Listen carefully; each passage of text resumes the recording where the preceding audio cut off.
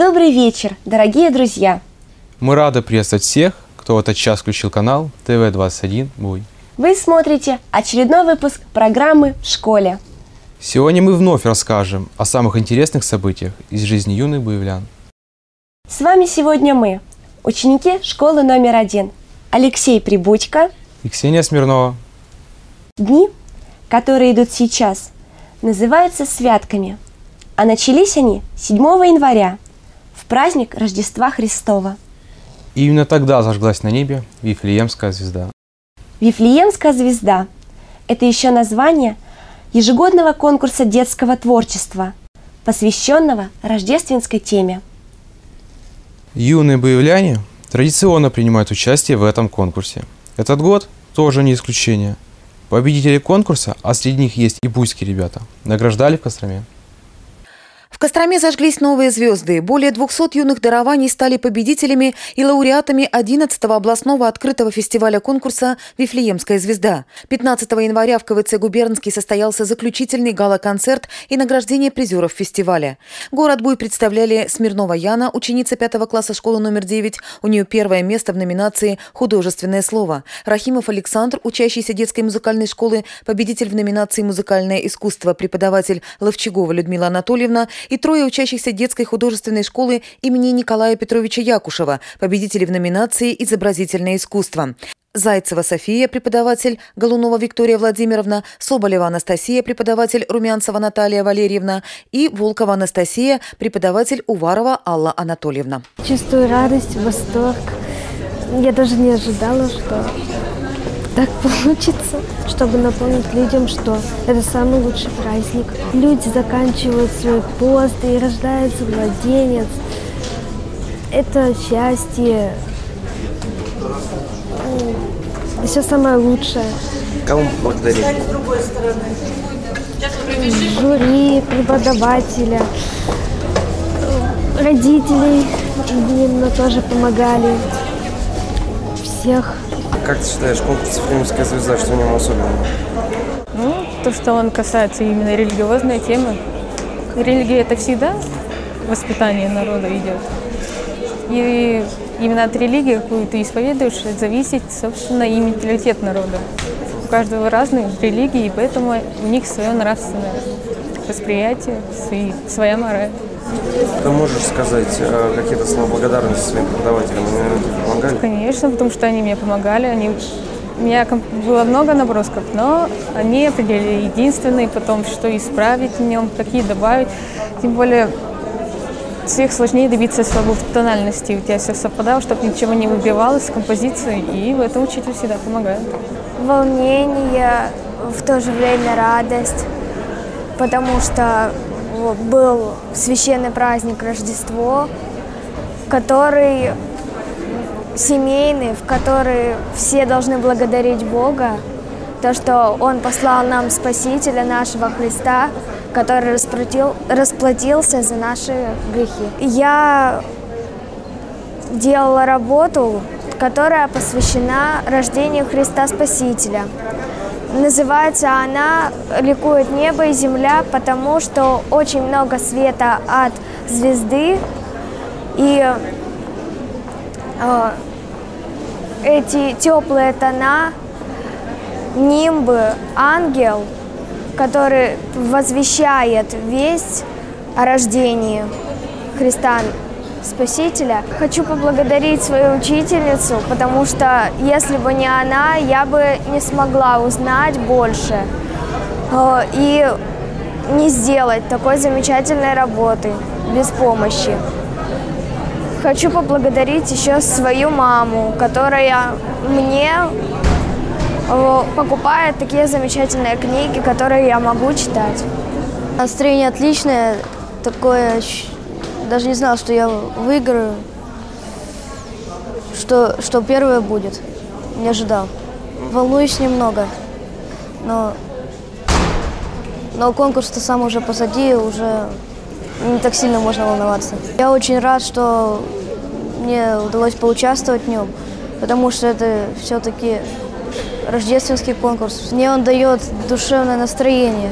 Фестиваль «Вифлеемская звезда» стал сценической площадкой почти для трех тысяч юных дарований в возрасте от 5 до 25 лет из всех муниципальных образований региона. Традиционно конкурсные отборы проводились по четырем номинациям – художественное слово и театральное искусство, литература, история, краеведение, музыкальное искусство, изобразительное искусство. На гала-концерте победители фестиваля, лауреаты первой степени, а это 43 солиста и индивидуальных автора и 12 коллективов, награждены дипломами и подарками подарками. Нет, наверное, ничего светлее и добрее и возвышеннее, чем видеть вот э, творчество таких детей. И самое главное, творчество основано э, на ценностях, на ценностях, которыми мы живем, к которым мы стремимся. Это нравственные ценности, семейные ценности, искренние слова благодарности в первую очередь вот этим юным талантам и особенно педагогам, которые их готовят. Ну и, безусловно, э, огромные слова благодарности родителям, потому что родители закладывают в них то, что э, потом вырастает из человека. Ну и, безусловно, слова благодарности тем, кто стоял у истоков, безусловно, это э, Костромское епархиальное управление. Есть там такой человек, протеерей Виталий Шайсин, который в 2000 году был один из инициаторов, основателем этого прекрасного фестиваля, конкурса. Глубокие слова признательности и уважения, Ваше Преосвященство, вам, э, Владыке Костромскому и Гальскому, организаторам, департаментам, администрации, конечно, губернатору, который продолжает нести очень высокую планку этого фестиваля. Сейчас идут святые дни, святки, замечательные дни, когда мы вспоминаем пришествие в мир Спасителя. Сегодня память замечательного русского святого, преподобного Серафима Саровского. Всех вас поздравляю с этими праздниками. Суть нашей христианской проповеди – познакомить людей с радостью о Святом Духе. Человек, который вошел в, жизнь, в религиозную жизнь, обязательно обретает радость общения со Христом. Чем человек чище, чем у него чище сердце, тем больше радость он получает. И, конечно, в первую очередь, такими людьми, которые могут обрести эту радость, являются дети. Вот конкурс наш предназначен для того, чтобы детей познакомить не только с церковью, как-то с христианским миром, жизнью, но, конечно, чтобы они могли обрести эту радость общения с Богом. Еще раз повторю, им, как безгрешным, еще чистым, это легче, чем нам, взрослым. И я хочу, конечно, как епископ выразить удовлетворение тому, что у нас уже вот 11 год проходит этот конкурс, сердечно поблагодарить и лично губернатора, всех сотрудников администрации областной, которые причастны к этому хорошему делу, всех директоров, педагогов, родителей, всех организаторов этого а, замечательного конкурса, пожелать, чтобы и в дальнейшем у нас каждый год этот конкурс проходил, развивался, чтобы как можно больше детей через это находили свои таланты, обретали ту радость общения со Христом, о которой вот мы говорим. С праздником всех и желаю всем э, успехов. Поздравляю победителей. Всем Божьего благословения. Поздравляем наших ребят с успехом на этом престижном конкурсе. Но я думаю, что стоит и рассказать о тех, кто занял на Вифлеемской звезде вторые и третьи места. Этих ребят поздравил благочины Буйского и Сусанинского районов отец Аркадий на рождественском концерте, прошедшем в социально-культурном центре «Луч»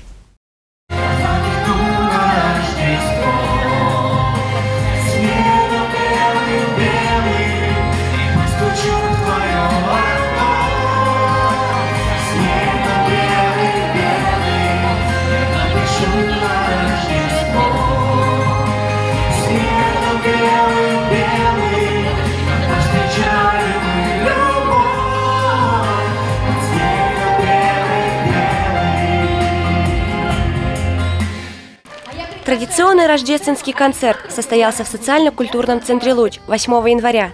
Назывался он «Созвездие» и собрал действительно целое созвездие юных талантов, певцов, танцоров, чтецов. В зале собрались самые преданные зрители – родители, бабушки, дедушки, друзья.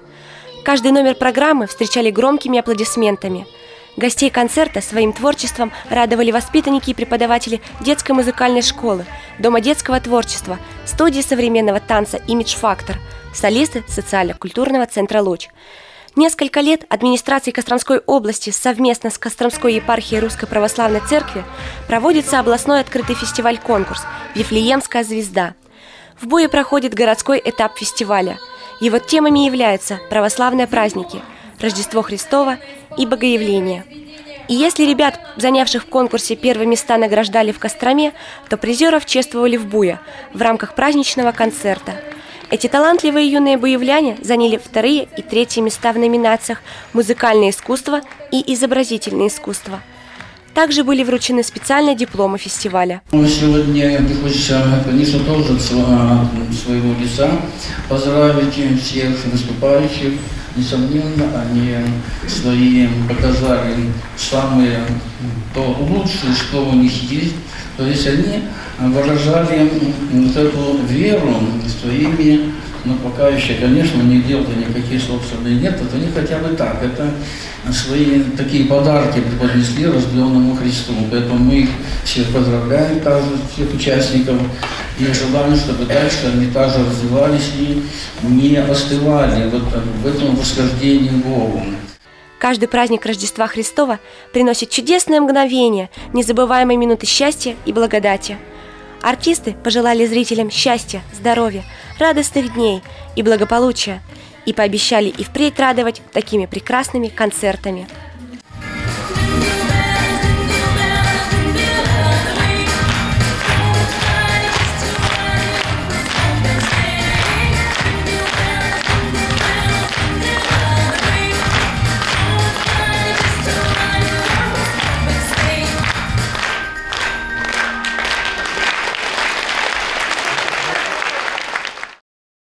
Каждый ребенок в детстве мечтает оказаться в настоящей сказке.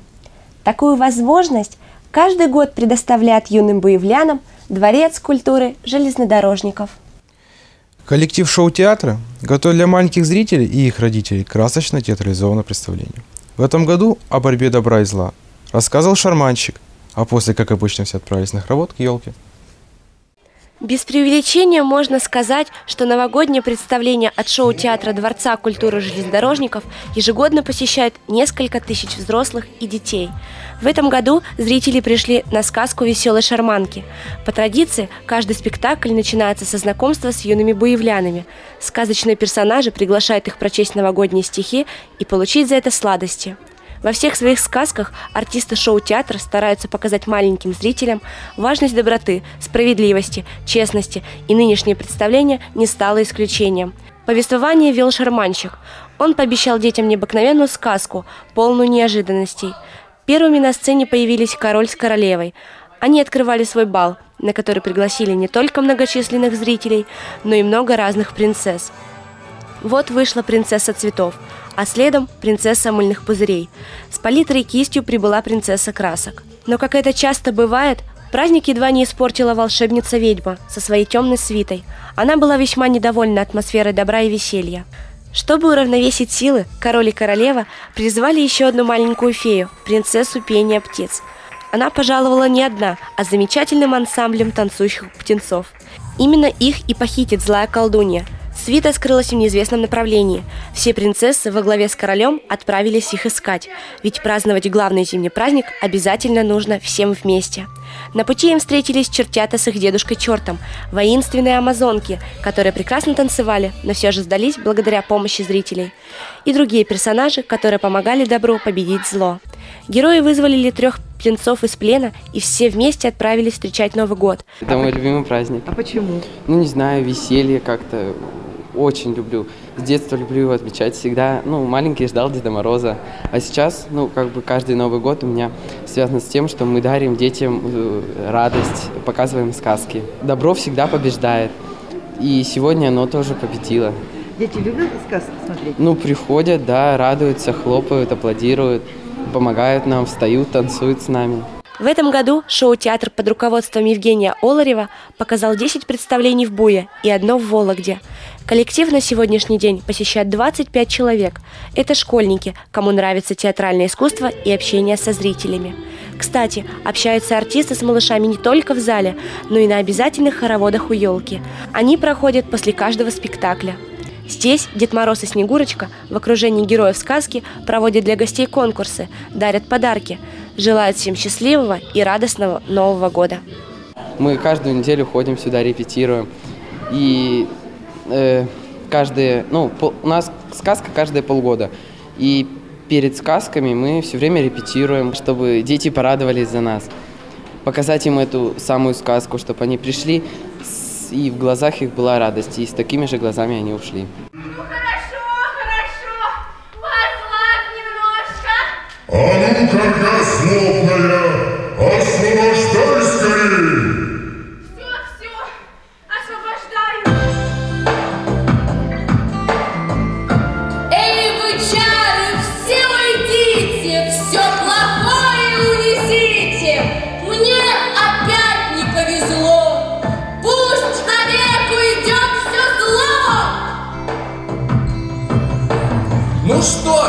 Ребята, добро в нашей сказке победило, зло наказано. Спасибо моей шарманке за такую хорошую сказку.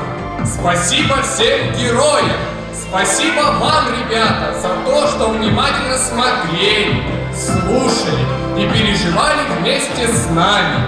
Верьте в дружбу, добро, справедливость. Верьте в наши сказки. И пока мы живы, им никогда не придет конец!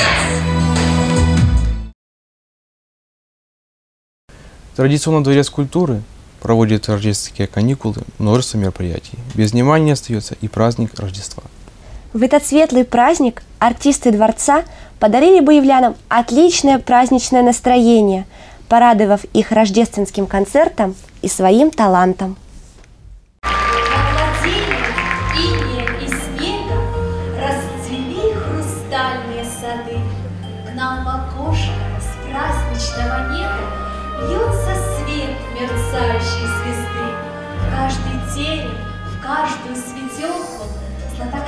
Ангел прилетел. Он зажег рождественскую елку и на нас с улыбкой посмотрел. его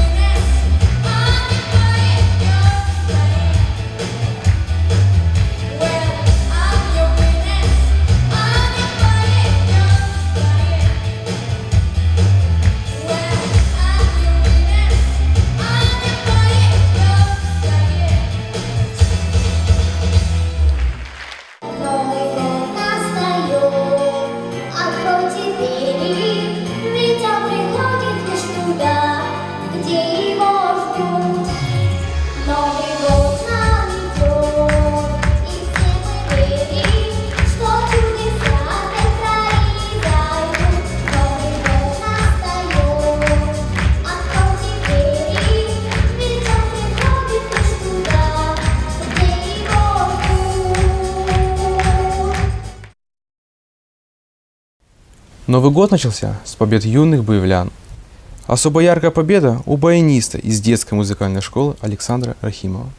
В начале года Саша со своим преподавателем Людмилой Анатольевной Ловчаговой побывали на первом всероссийском конкурсе искусств в Санкт-Петербурге. Свою победу музыкант посвящает предстоящему юбилею музыкальной школы и юбилею города. Блистательной победой начал Новый год учащийся Буйской музыкальной школы Александр Рахимов. Саша завоевал гран-при на первом всероссийском конкурсе искусств «Русское Рождество» в Санкт-Петербурге. На конкурсе он побывал в праздник Рождества Христова вместе со своим преподавателем по баяну, заслуженным работником культуры России Людмилой Анатольевной Ловчаговой. В Рождество мы пошли э, погуляли. Нам удалось это сделать. Мы прошлись по Невскому, мы зашли в Казанский собор. Там э, вход э, был свободный. Поставили свечки, э, приложились там ко всем иконам, попросили Казанскую Божью Матерь, чтобы она нам помогла. Номинация «Инструменталисты» была общей. В ней выступали пианисты, дамристы, скрипачи, гитаристы и другие. Участников разделили только по возрастным группам – школьники и студенты училищ и консерваторий, то есть почти уже профессионалы. Саша в Санкт-Петербурге побывал впервые, а для Людмилы Анатольевны зал на Московском проспекте у Московских ворот, где проходил конкурс, оказался знакомым. Сюда она привозила одного из своих учеников Романа Коновалова. Состязаться в исполнительстве на этот раз собралось около 400 музыкантов. В жюри 8 человек, в основном пианисты. Одно из произведений, которое исполнял Саша, тоже было фортепианным – «Прелюдия Лядова». Как ее оценят мэтры, а судьи единогласно оценили высшей оценкой, каждый поставил 10 баллов. Оценки не озвучивались остались в протоколах, а решение жюри преподаватель Саши Людмила Ловчагова узнала на собеседовании после конкурса. Второе произведение «Джаз-вальс». Как говорят участники, играли для создания праздничного настроения у всех в зале. Самое, конечно, для меня всегда вот интересное, жюри не озвучивали до самого конкурса, и э, буквально вот они представляли только, э, я посмотрела в зал, 8 человек сидит жюри, у меня сразу все равно как-то страшновато.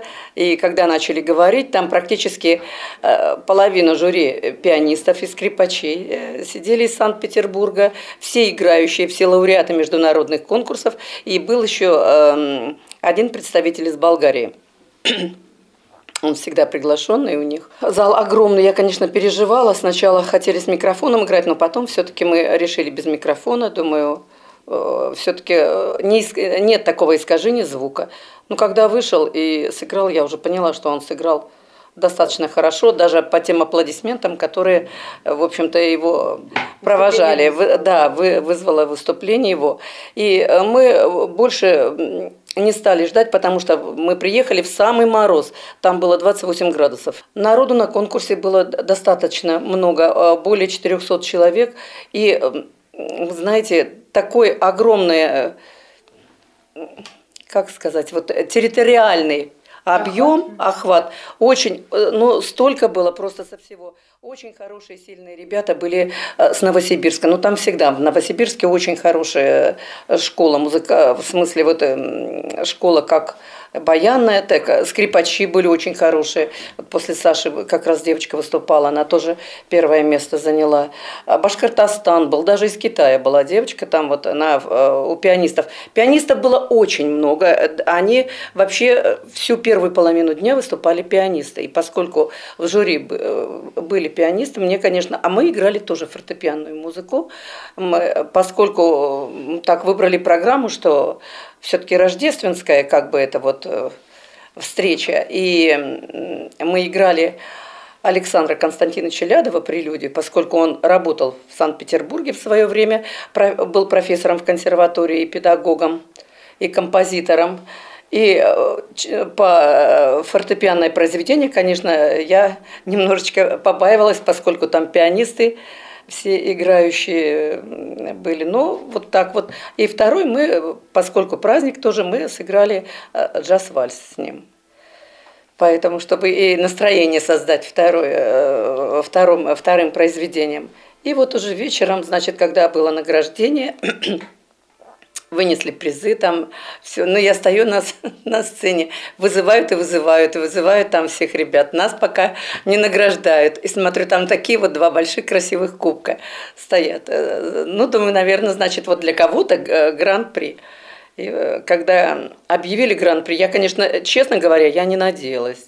Но думаю, что-то, по- поскольку я послушала вот из, из скрипачей только на репетиции, когда мы были на репетиции, было очень много э, народу, и вот тут я послушала, кто как играет, э, и вокалисты были, и послушала, э, как поют, как играют. Очень э, вот дамбристка из Нижнего, из Новосибирска, но уже профессионал из, из училища. Вот у нее тоже гран-при было, но в своей вот этой профессиональной группе. Значит, а тут вот э, говоря, вызывают, и вдруг вот, значит, гран-при объявляют Рахимов Александр. Рахимов Александр, он не был готов тоже, да, Саш? И поэтому так очень скромно, очень скромно вышел. Но, конечно, э, аплодисменты такие, поздравления. Мне, конечно, было очень приятно. И после этого, э, значит, у нас как бы еще Саша остался в зале, я пошла на, на собеседование с членом жюри на встречу.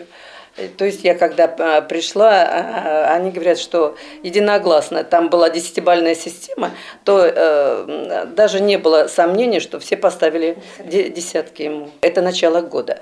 Вот э- это уже хороший Задел. пода- задел, да. Несмотря на то, что год высокосный, но я э, всегда нас- настраиваюсь на то, что это со- совершенно ничего не значит. И потом, это очень хороший у нас же в этом году юбилей школы будет.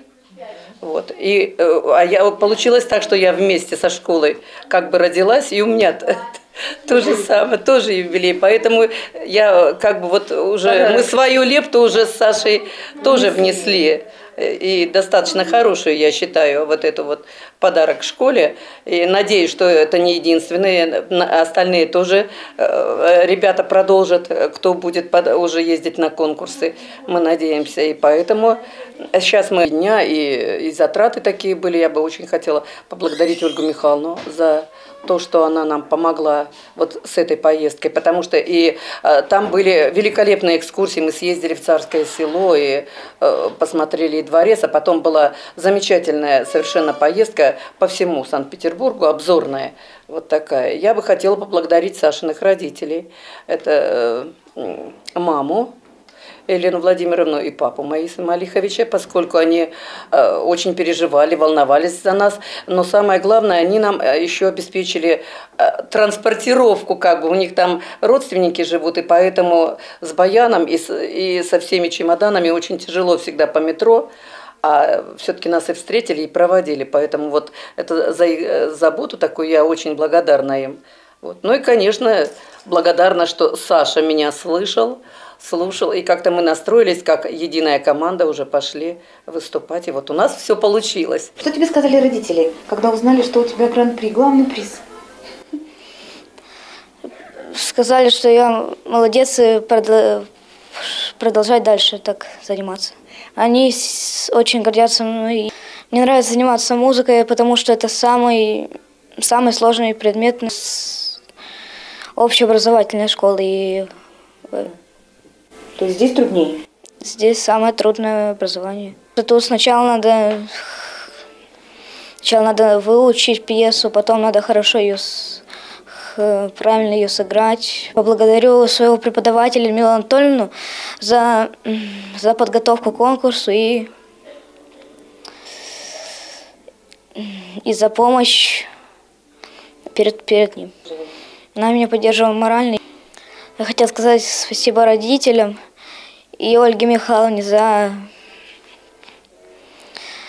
За то, что помогла за, помогла э, на конкурсе поучаствовать и, и вот это все организовать. Я хочу всем пожелать не бояться вот этого высоко с Нового года. э, Высокого уровня конкурсов, да. Да, э, понимаете, вот как себя настроишь, и, ну, то есть э, не только как себя настроишь, а, конечно, э, если будешь работать серьезно, и если э, будешь, ну как бы, отдавать вот это вот все знания свои, все умения и всю душу. Вот э, э, людям мы всегда идем с этим на конкурс, что мы э, идем дарить радость дарить радость людям. И поэтому, вот, наверное, с таким настроением все получается. Потому что музыка это, конечно, всегда прекрасно. Какими только не называли наши зимние каникулы. И веселыми, и радостными, и яркими, и волшебными. А еще это были научные выходные. Именно так называлось увлекательное шоу профессора Николя, которое состоялось во Дворце культуры железнодорожников. В новогодние каникулы для буйских детей было организовано множество интересных программ и мероприятий. Это делали и местные организаторы, и приезжие. Во Дворце культуры железнодорожников были организованы научные выходные. Это мероприятие прошло в рамках известного шоу сумасшедшего профессора Николя. К нам же в Буй приехали два профессора, Илья и Марина. В опытах, которые они продемонстрировали активное участие, приняли зрители. Посмотреть на диковинное явление в руках ученых пришли юные буевляне и их родители. Им шоу было не менее интересно, чем детям. Ведущие доступно объясняли законы физики и химии и показывали их на практике. Веселые опыты – это море позитива и хорошего настроения. Скучно не было никому. Кроме этого, опыты абсолютно безопасны. Буевлянам эта программа еще мало знакома, но на самом деле шоу существует уже пять лет. За это время было проведено 4000 представлений, в которых приняли участие более 15 тысяч детей. Те, кто в Буе решил провести один из выходных дней в научном стиле, не пожалел об этом. Качественные реактивы, опыт проведения экспериментов – все это привлекало внимание зрителей в течение полутора часов. Воздух, вода, огонь, газ – чего только не придумаешь с ними. На столе у ведущих целая химическая лаборатория. Эти научные выходные запомнятся и детям, и взрослым надолго. На сегодня у нас все новости. До свидания. Всего вам доброго. До новых встреч В школе.